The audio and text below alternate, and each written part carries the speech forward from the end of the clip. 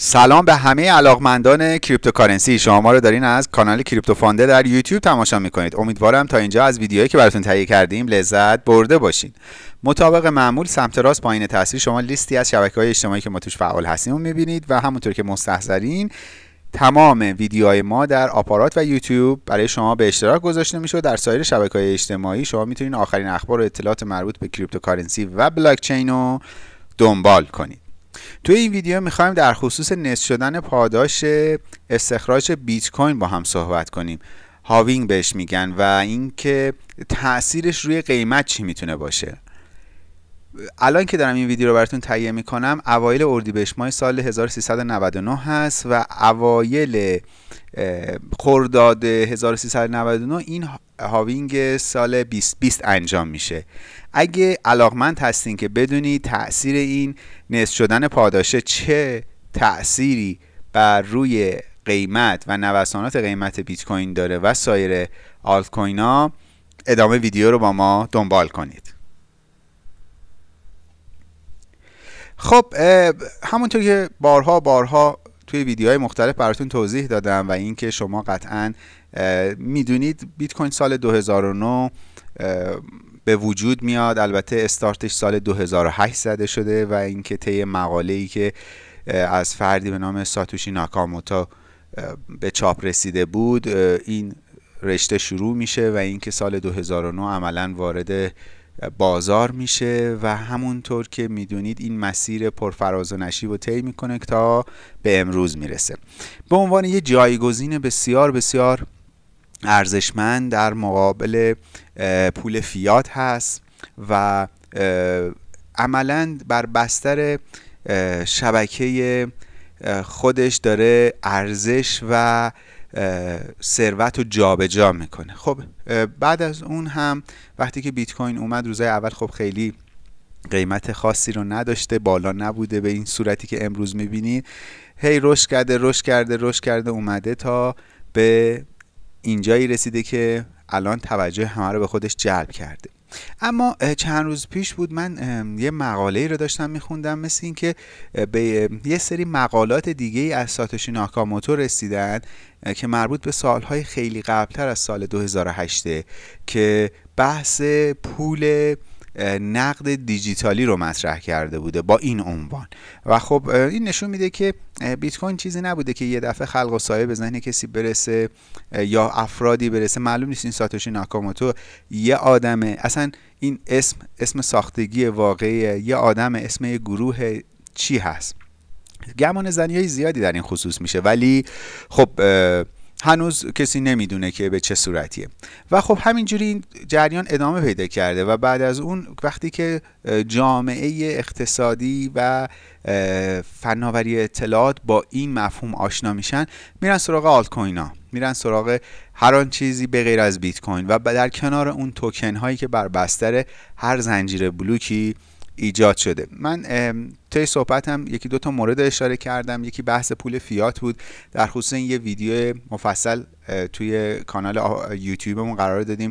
حتما بریم پول فیات رو ببینید چیه. اصلا تفاوتش با cryptocurrency چیه و اونجایی که پول ارزشش از دست میده واقعا cryptocurrency چجوری اومده به کمک این ارزش منتقل شده روی شبکه و اینکه چقدر تونسته کمک بکنه و تفاوتاش با پول فیاته. داستان این آلت کوین هم که بارها بارها گفتم دوتا ویدیو مفصل در خصوص سایت کوین مارکت کپ تهیه کردیم. این سایت بسیار سایت با ارزشه. اینم توی کانال آپاراتمون هم هست. تو کانال یوتیوب هم هست. پیشنهاد می‌کنم حتما مراجعه کنید. ازش استفاده کنید. این سایت خیلی سایت پرمحتوایی به در اصلا کسی که می‌خواد تو این بازار کار کنه اگر از این سایت استفاده نکرده باشه تا الان یه خورده عجیبه. خب توی این ویدیو همونطور که گفتم می‌خوایم در مورد halving و نصف شدن پاداش بیت کوین با هم صحبت کنیم. توی سرفصل که می‌خوایم در ادامه با هم بریم جلو بحث استخراج بیت کوین هست دلیل halving بیت کوینه که اصلا برای چی باید این کار انجام شه؟ می‌تونست خب همه این تعداد BTC که می‌خواست اول بریزه تو بازار دیگه چه کاریه؟ تاریخ های مربوط به این رویداد هست که در چه زمانهایی انجام میشه و از همه مهمتر. از همه مهمتر تاثیرش روی هاوینگ روی تاثیر این هاوینگ روی قیمته. ببینید متناظر این تو بورس چیه؟ زمانی که یه سهمی می‌خواد افزایش سرمایه از محل مثلا تجدید ارزیابی داراییاش بده از محل مطالبات بده یا یا مثلا سود انباشته بده که عملا تو دلش سهام ج... این سهام جایزه میمونه دیگه. که باعث میشه که یه تعدادی بیان بهش هجوم بیارن دیگه. البته خب خیلی فاکتورهای دیگه هم توش هست. یا اینکه قبل از مجمع بس الان که با هم داریم صحبت می‌کنیم فصل مجامع. بازار بورس هم که خب البته خیلی داغه این روزا و کسایی که تو این بازار هستن هرچی می‌خرن رشد می‌کنه انشالله که همیشه سبز باشن. ولی در نظر داشته باشین که مثلا قبل از برگزاری مجمع به خاطر اون دی اسی که تقسیم میشه یه سری سهما خوب رشد می‌کنن. علتش هم چیه؟ حالا نمی‌خوایم خیلی بریم سراغ این داستان بورس. اون پی بی است و پی بی صنعت و نمی‌دونم ارنه رشد داره می‌کنه گزارش های سالانهشون. دیگه تو اردی بهش حسابرسی شده سالانهشون تو اردی بهش ما در میاد. دقیقا مشخص ای پی اس چقدر با گمانه زنی رو DPS و تاریخ اون فرصتی که برای پرداخت سود تقسیمی دارن همه اینا جذابیت هایی که باعث میشه رشد کنه. این همه اینا رو گفتم که به این اشاره کنم که این halving هم دقیقا همینه. نصف شدن پاداش استخراج بیت کوین هم باعث رشد شده.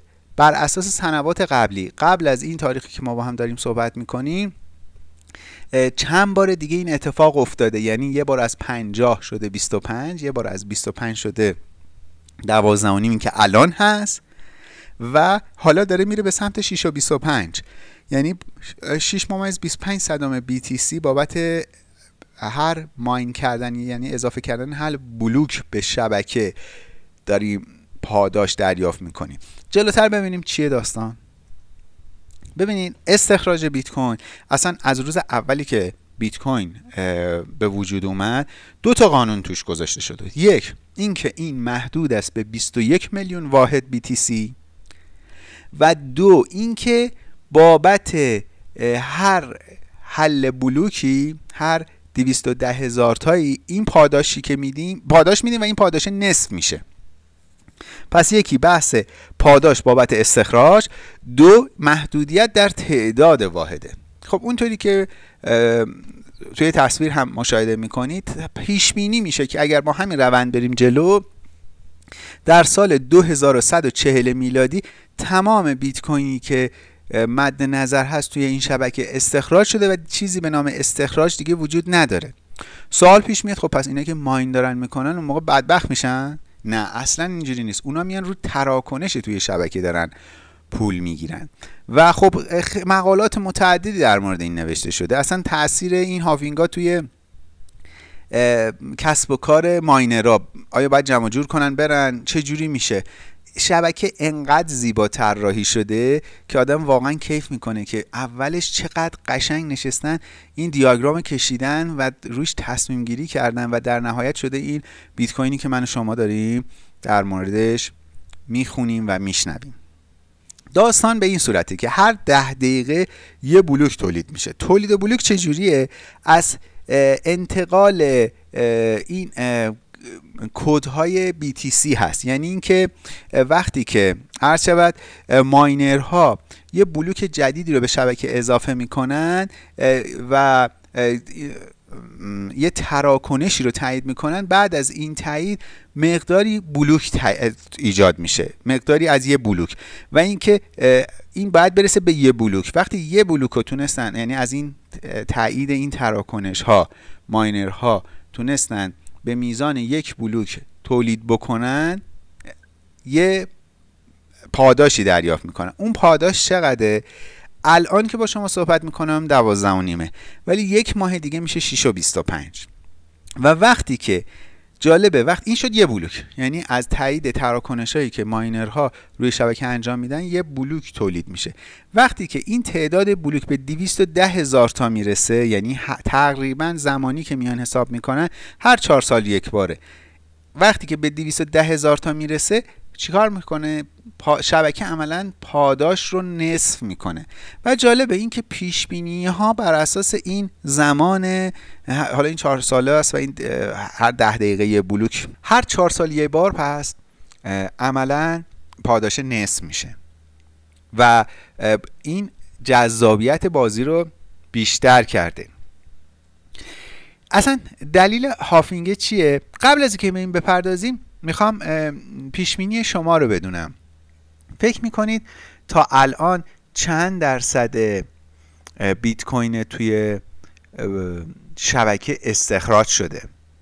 تو این سوالی که سمت راست تصویر می‌ذارم حدستون رو انتخاب بکنید. در ادامه وارد یه وبسایتی میشیم که اطلاعات بسیار بسیار دقیقی رو در این خصوص برای شما نمایش میده و به لحظه هم داره update میشه. ببینید یکی از همونطور که گفتم از شروط اصلی این شبکه بیت کوین همین نصف شدن پاداش بوده.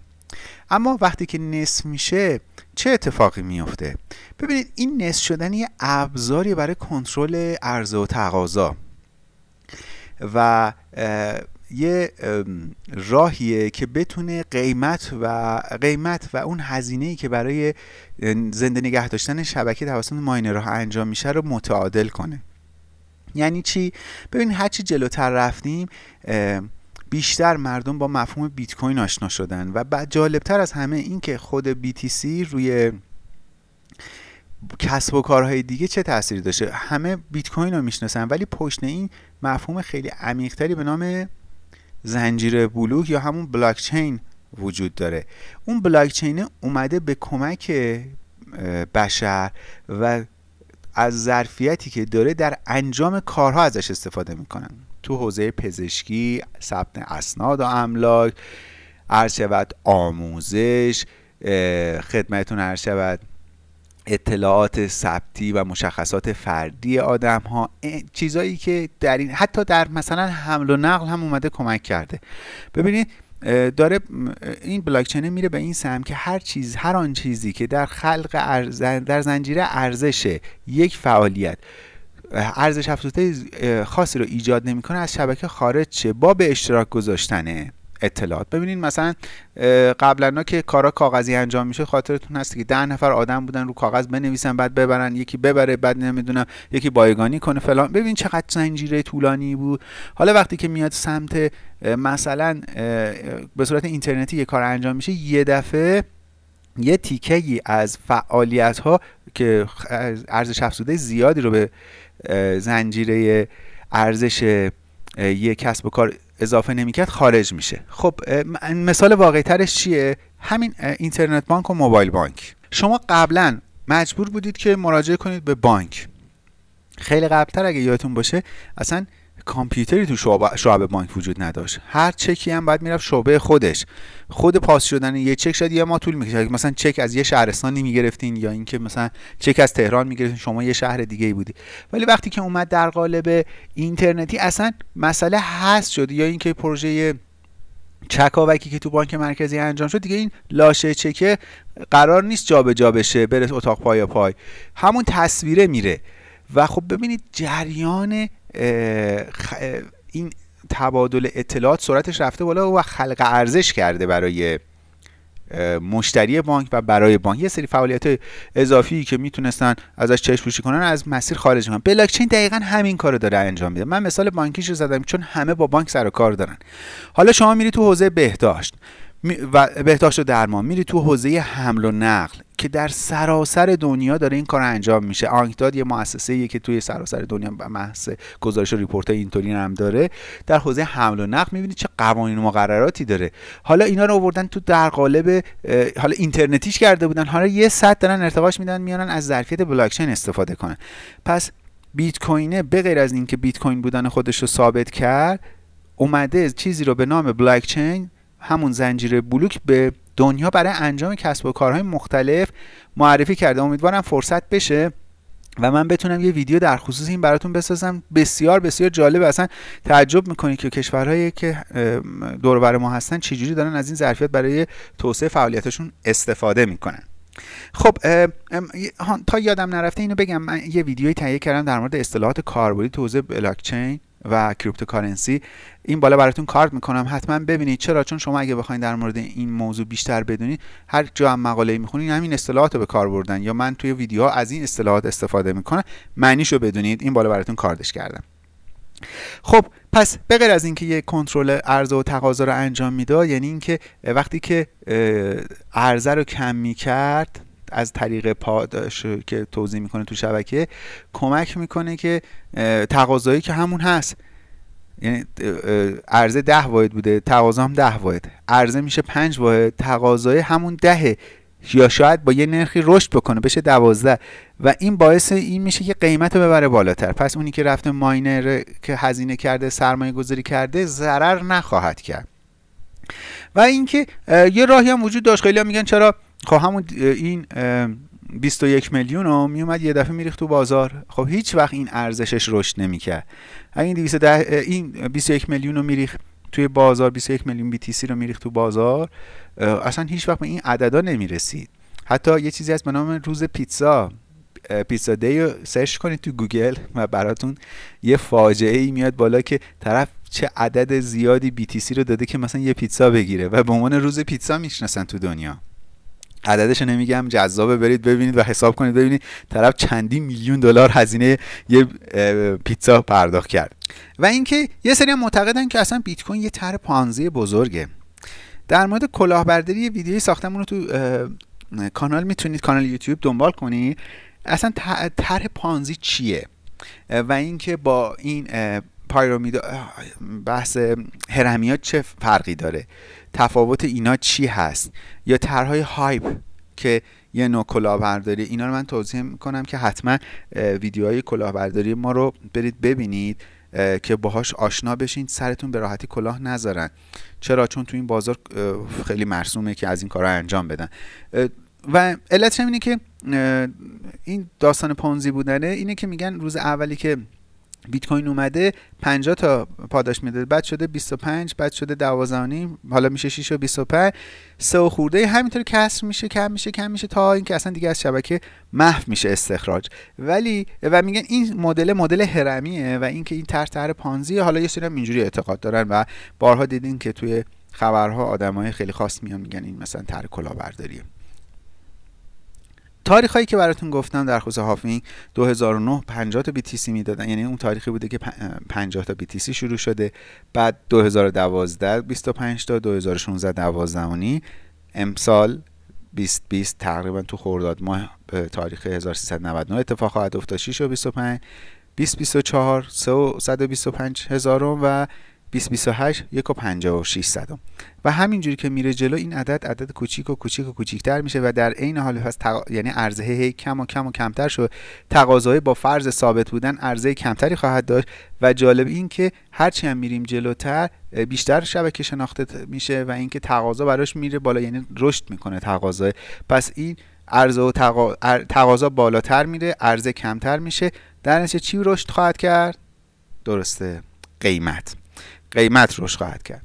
و خب برای خیلی ها این مسئله جذابه. حالا جالبه براتون میگم که این بیت کوینی که اینجوری به این سختی استخراج میشه یا بقیه رمز ارزهایی که توی بازار هستن اینجوری استخراج میشن قیمتاشون توی صرافی یکسان نیست.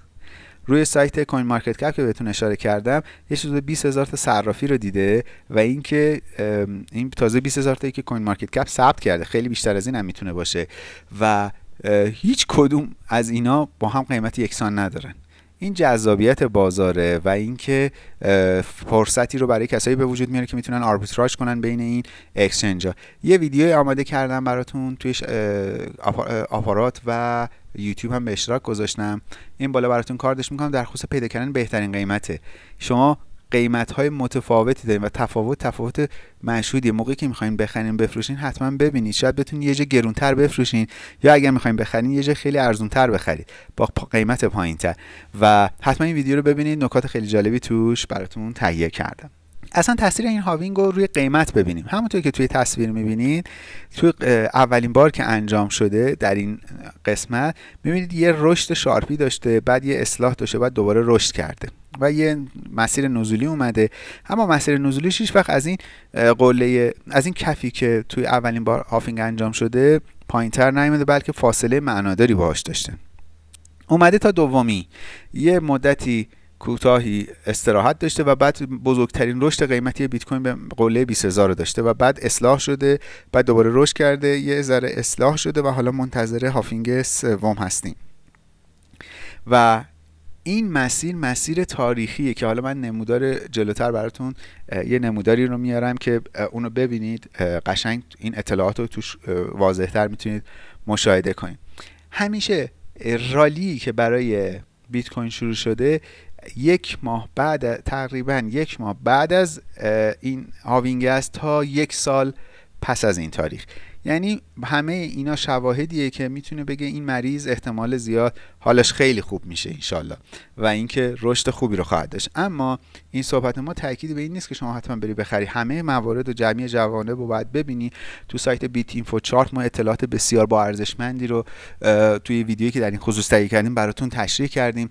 به سایت بیت اینفو چارت بسیار بسیار سایت قوی و محتوای من پیشنهاد می‌کنم که حتما اون ویدیو رو توی کانال آپارات ما و یوتیوبمون ببینید. به اضافه اینکه من این بالا یه سری وبسایت های مفیدی که تو این زمینه کار کردم و براتون کاردش می‌کنم که حتما بهش مراجعه کنید. به خاطر اینکه کسی که می‌خواد تو این بازار کار کنه باید با این ادبیات و این ابزارها آشنا باشه. این سایت بیت کوین بلاک هاف و اینکه اطلاعات بسیار خوبی در خصوص نصف شدن پاداش بیت کوین و اینکه اصلا تا الان وضعیت بیت کوین به چه صورتی هست و بهمون ارائه می‌کنه. 19 روز و دو ساعت و 48 دقیقه و 20, 20 ثانیه دیگه این هافینگ اتفاق میفته اطلاعات کاملی در این خصوص تو این نمودار همونطور که می‌بینید داره این خط نارنجی رنگ داره میزان استخراج رو داره میگه. همینطور داره کم میشه و کم میشه و کم میشه عرضه میاد پایین تر و این خط آبی بلاک هایی که داره توی بازار میاد و اینکه این بلاک ها بیت کوین که ببخشید داره توی بازار میاد 21 میلیون بیت کوین اینجا بیت کوین بر اساس میلیون 21 میلیون بیت کوین تو بازار خواهد آمد تا آخرین تاریخ. این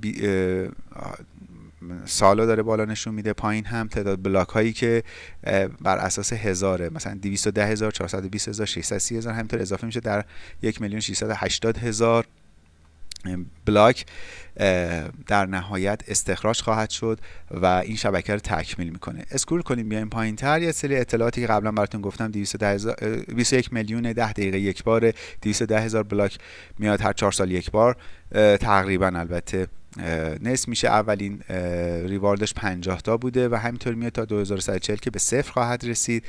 اولین halving در 29 نوامبر 2012 اتفاق اومده اتفاق افتاده که 210 هزار تا بلاک حل شده و دومیش هم مربوط به دهم جولای 2016 بوده که با به 420 هزار تا بلاک ها رسیده. این هم نمودار که من روی این کلیک می‌کنم.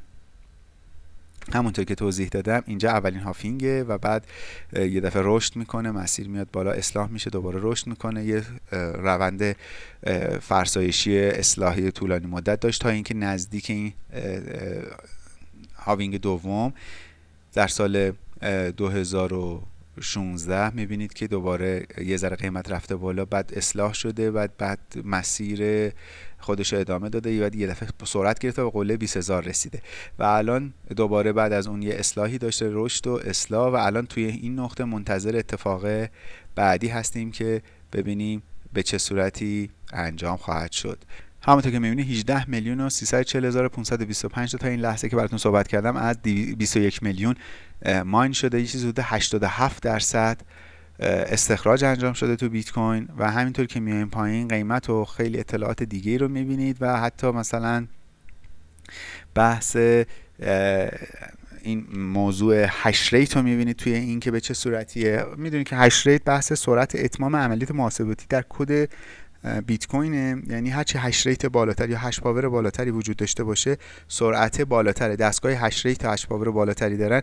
عملا کارهای بالاتری توی این شبکه برای صاحبش ایجاد می‌کنه و می‌تونه خب منافع مالی بیشتری رو براش فراهم کنه. همونطور که می‌بینی هر ده دقیقه یه بار داره مثلا یه block جدید generate میشه و تا الان 140 تا یعنی به صورت روزانه 144 تا block در روز اضافه میشه به شبکه. سختی شبکه رو داره میگه. hash rate و که براتون توضیح دادم و همونطور که اسکرول کنیم بیایم پایین میگه این بقیه دیفیکالتی بعدی که به وجود میاد مثلا در چه تاریخیه و این اطلاعات بسیار کاملی رو در خصوص وضعیت بیت کوین داره به ما ارائه می‌کنه و این اطلاعات به لحظه و به روزه همونطور که مشاهده کردین در بالای این سایت هم داره روز شمار مربوط به نصف این پاداش رو به ما نمایش میده.